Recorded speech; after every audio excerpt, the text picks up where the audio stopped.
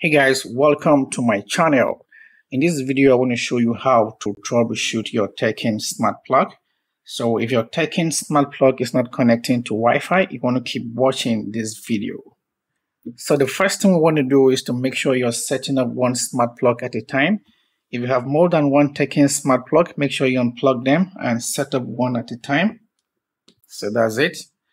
And the next step is to get your phone. So here's my phone right here and you want to go over here and make sure your Bluetooth is turned on. So make sure your Bluetooth is turned on. And the next step is to go to your Wi-Fi settings and make sure you're connected to the 2.4 gigahertz Wi-Fi. And next, you want to open the Smart Life app. Here's it right here. If you don't have the Smart Life app, you want to download the app. So go over to your app store and type in Smart Life. It's already here. And you're going to tap search. So Here's the app right here. So in my case, I already have the app, so I just need to open it. If you don't have a Smart Life account, you need to follow the instructions here to download the app and sign up with your email. So that's it. So let's open the app. And the next thing we want to do is to reset the smart plug. Here's it right here.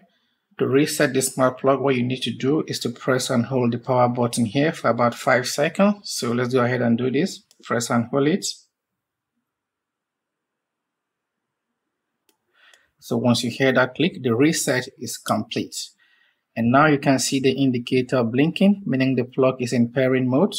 So what you need to do now is to add it to your app. So get your phone again. So here's the app right here. And you can tap the plus icon here or you tap add device. So here's it, tap add device. And then tap socket Wi-Fi. Here's it right here. And now you need to enter your Wi-Fi password. In my case, my password is already here. So tap next tap next again, tap next. Now confirm the indicator is blinking. Of course, it's blinking. So tap next again. Now you want to check if the indicator is blinking quickly or slowly. So it's blinking quickly and we're going to tap blink quickly. So now we need to wait a few seconds. It's connecting. It's connecting.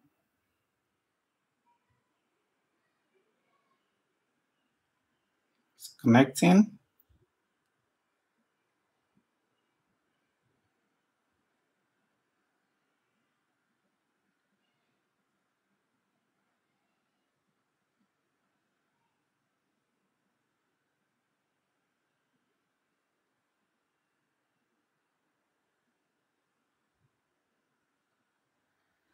So that's it. The setup is complete. You can tap this to rename your device. Tap finish. Tap done. So that's how to troubleshoot your Teckin smart plug if it's not connecting to Wi-Fi. So now you can control your smart plug through the app. And you can also come over here and set your schedules. So that's how it works. So that's how to troubleshoot your Teckin smart plug if it's not connecting to Wi-Fi all you need to do is to make sure your phone is connected to the 2.4 gigahertz Wi-Fi and also make sure your Bluetooth is turned on. And if you have more than one Teckin smart plug, make sure you unplug them and set up one at a time.